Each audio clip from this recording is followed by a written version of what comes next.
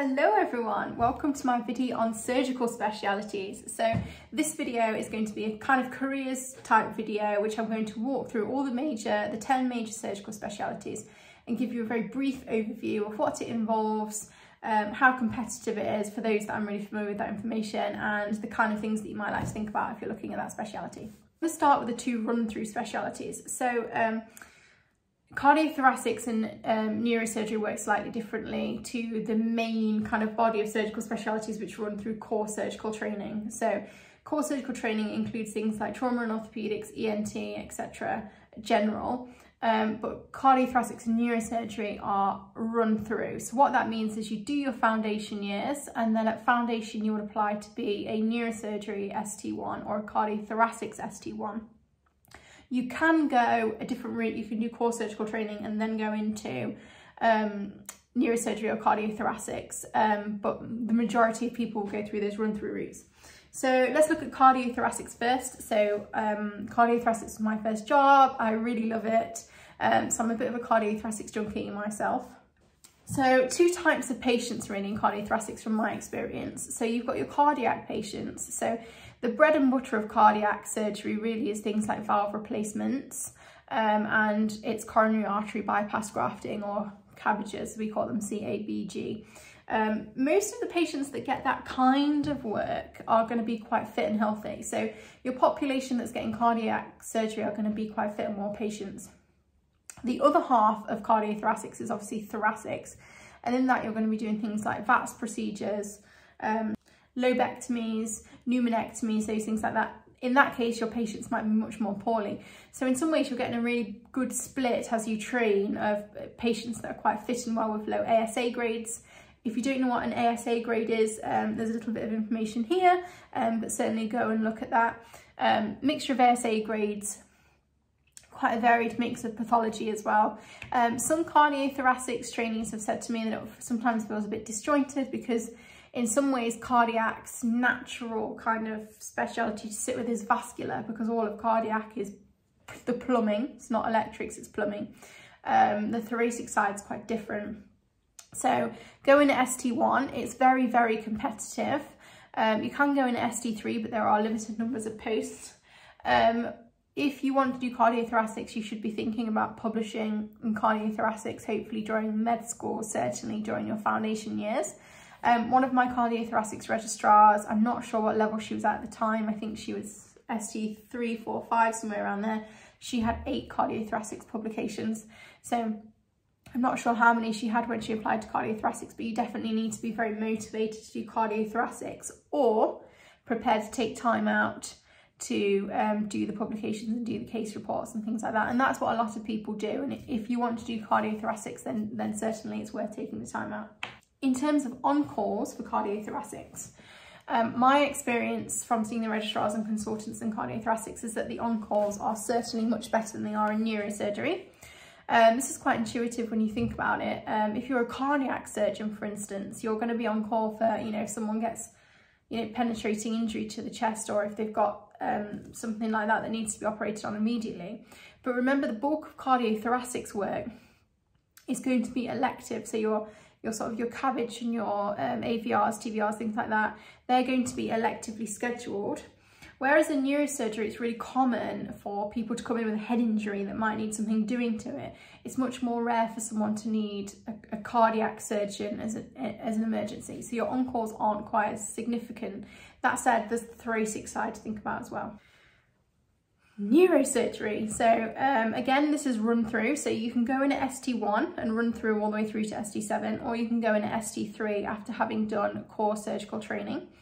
Like cardiac surgery, this is very competitive. I think it's about four to one, so it's not impossible. And I always say, you know, the biggest odds that you will ever face is getting into med school. So please don't be put off a surgery, you know, especially if you're die hard for whatever you want to do, go and do it even if, as long as you're prepared to say, you know, I'm going to have to take two years out and work in this and do those publications, just go for it. You won't regret it, I don't think, in 40 years. So neurosurgery is, um, is going to have a mix of so there's pediatric neurosurgery, there's neuro-oncology, there's spinal surgery, functional neurosurgery, and traumatology.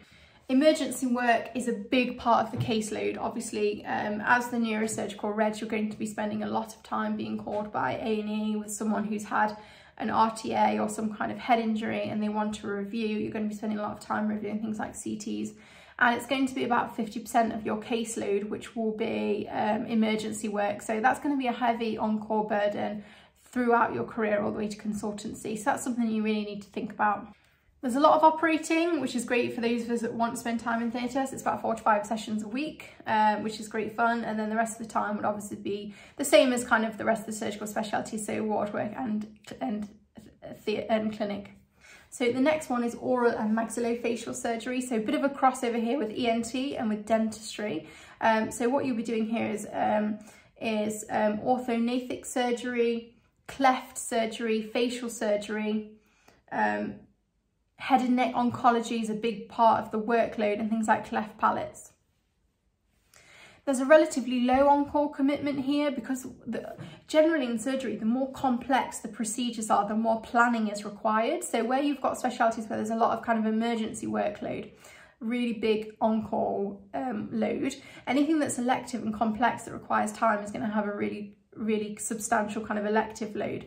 Um, and this is one of those specialities. So if you're looking for something that's very technically complex with a low burden of these hours going throughout your career, then this might be something you might want to consider. Like neurosurgery and cardiothoracic surgery, you can go into ST1 or ST3 at this point. It's really competitive as well, I should say. Um, again, this is one of the ones that if you're really interested in doing it, you need to read up on it now. There is a great book, So You Want to Be, it's called So You Want to Be a Brain Surgeon.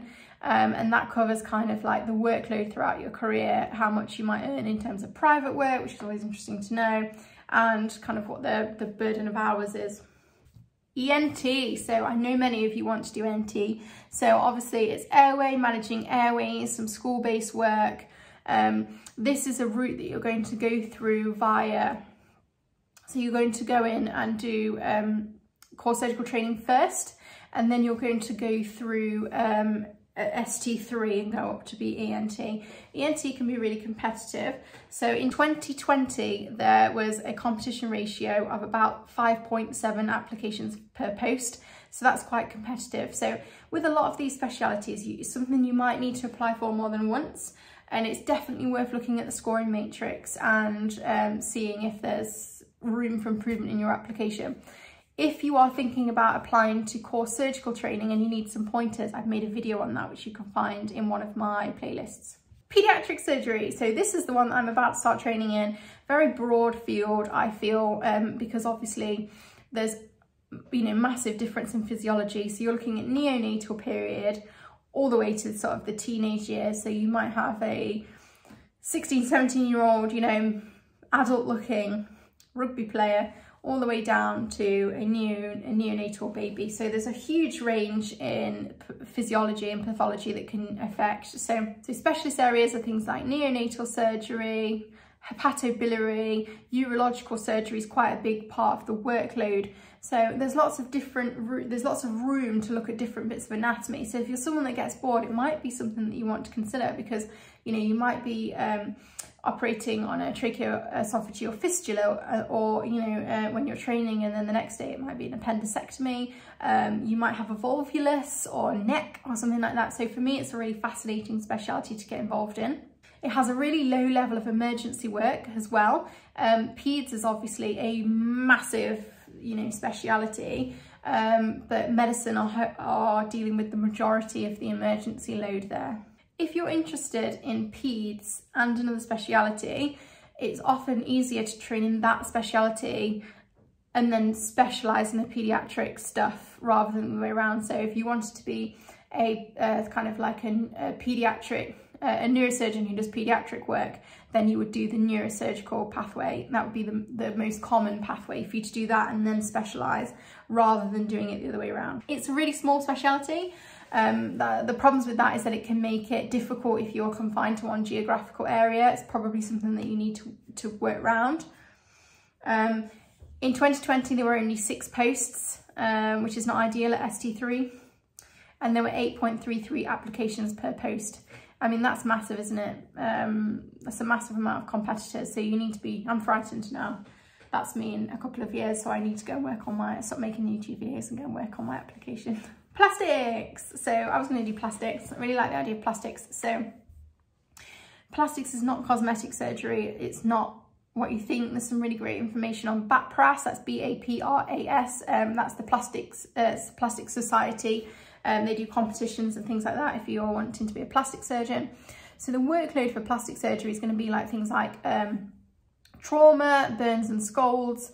It's effectively restoring function, so often removing lesions like um, skin cancer on the face that's being closed, that would have a plastics input. They'll do skin grafts and effect effectively they're just restoring function.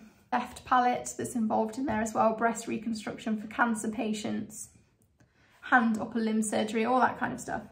Much of the workload here is, is, is supposed to be emergency cases and it's busy on call. Um, this is the burns part that kind of makes it quite busy.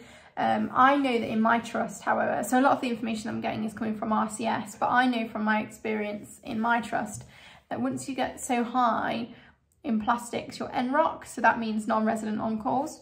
So that means you're at the end of the phone effectively and, and letting your juniors do the in-hospital work. So um, I feel like the work-life balance is much easier once you are be able, being able to do things NROC anyway. In 2020, there were 41 posts at ST3 and there were an average of 4.63 applications per post. So if you think about paediatric surgery, there are much, much less competition. T&O, so um, you probably know quite a lot about T&O because we do a lot of it in med school. So it's bones and joints. The workload is going to be, you know, your uh, total hip replacements, hemis, all of those kind of things, rotator cuff repair, arthroscopy. Um, there is um, scope for lots of fine work, you know, things like uh, cubital tunnel releases. Um, it is historically known to be a male speciality, um, but I'm on trauma and orthopedics at the moment and there are a couple of really cool female regs um, and I think it is a speciality that's that's active, in my experience, has been actively trying to welcome women. I have found in some cases that, you know, they it's the only theatres I've ever been in where they only, the gowns that they have are only in extra large and large. There's no like small or mediums. Um, but other than that, it seems to be a really interesting speciality and an interesting speciality for women. In 2020, there were 125 posts at ST3 and there were an average of 5.72 um, applications per post. So um, it's a bit middle of the road really, isn't it, in terms of plastics was lower, paediatric surgery was higher. Again, if you want to do it, you might need to apply a few times. I just think it's not worth getting too caught up on the ratios. So in terms of on-call burden, um, there's obviously the trauma component of the work, and that is the thing that's going to give you on-calls effectively and make it fairly busy. I know some consultants get rid of the trauma part and they're just doing elective orthopedics lists and that's obviously something that's there for you in the future. In terms of being a registrar, I think it can be, can be fairly busy in terms of your on-call commitment. Urology, so we are almost at the end of our list. We're here at urology. So um, urology is going to be looking at the kidneys, the bladder, men's sexual and reproductive health. A big part of your workload is going to be things like stones and cancer um, and obviously some neurological problems, but cancer is one of the big ones, bladder cancer. Um, so it can be quite a dynamic speciality in terms of being able to work with other, other teams. Um, so that's that should be great fun. Um, in terms of emergencies, you've obviously got things like testicular torsion.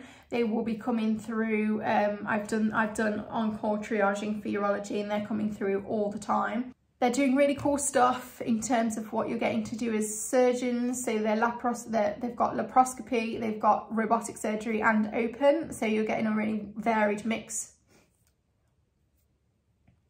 The on-call um, is not arduous according to the RCS website. I have done urology on-calls and the urology regs are working from home. Um, very rarely did I get them in. Um, I've, I've called them and woke them up a couple of times throughout the night, but in all of my urology on-calls, I think the regs only came in once or twice. You, th the thing with with surgical on-calls is the majority of the time, if you, as a foundation doctor, you're busy all the time because you're either triaging or your patients are not well. But ultimately, if your patients are not well, it's usually a medical issue, like um, it's usually stuff that you can deal with, like um, starting patients off on a sepsis 6 effectively. Um, but usually it'd be the med reg that you'd need to ring with, with an issue in a surgical patient, unless it's something that's directly surgical, like, you know, your anastomosis is leaking or, you know, someone's bleeding and it, it needs to go back to theatre. I mean, that stuff, in my opinion, has been quite rare. The majority of the stuff is stuff like, you know, someone's gone into AF or whatever and we need to call the med reg and the med reg comes out. So in terms of your on-calls as the urology reg, you should only be coming in for, you know, the real emergencies like, you know, you triage someone who's coming in and they've got a testicular torsion. So your on-call burden as you come through the, the pathway shouldn't be too heavy. So in 2020, there were 64 posts at ST3 level across the country and um, the ratio was 2.28 per post um, in terms of applications. So if you want to find out more information about that, um, the British Association of Urological Surgeons has a website and there'll be lots of information about that on there. Okay, so vascular. So vascular is a relatively new speciality actually. It used to be part of general surgery, um, but now it's its own thing and it's possible to specialise. So the main kind of things that they're doing is kind of lower limb bypass surgery, carotid endarterectomies, those kind of things. And they're working really closely with interventional radiologists and cardiothoracics, as I mentioned earlier. Really cool, really dynamic speciality, lots of very fine work. They're obviously working with arteries and veins. In 2020, there were 123 posts and there was a ratio of 4.76 applications per post. Um, so again, fairly middle of the road. So on this list, I'm also going to include academic surgery. Um, in academic surgery, you're going to be work training in a speciality and then doing academics on the side. I think it's possible to do it in any of the specialities, um, but I don't know a great deal about it because it's not something that I've looked into or I'm really interested in at this point. Um, so I'm not going to say too much rather than give you incorrect information. Um, because I simply just don't know very much about the process behind uh, the academic stuff. When I filmed this, I completely forgot to include general surgery, which is hilarious because it's the one we spend the most time in. Um, so Gen Surg is one of the biggest specialities uh, next to trauma and orthopedics. Um, it's known for its on-call burden, so it's known for, you know, being in the acute abdomen kind of um, speciality. But there's a lot more to Gen Surg than that. So the RCS website says that they carry out about 80% of elective operations. So there's a huge elective burden, which hopefully has an impact on your kind of, you know, your on-calls, especially as a consultant. Lots of opportunities in Gen Surg. So Gen Surg is being split into transplant, which is, if you ask me, absolutely fascinating, colorectal, um, uh, endocrine, so anything to do with the thyroid, it's not covered by ENT, and breast. Um, so it's quite wide because obviously with breast you've got a very big kind of elective component, um, whereas something a bit more general you might do more on calls.